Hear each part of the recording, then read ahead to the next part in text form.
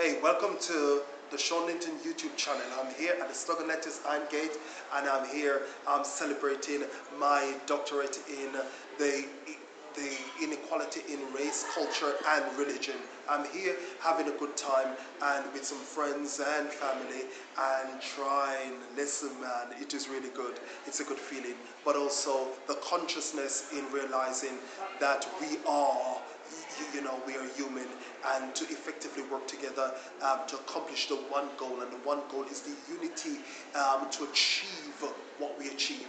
This, this is what we are here for.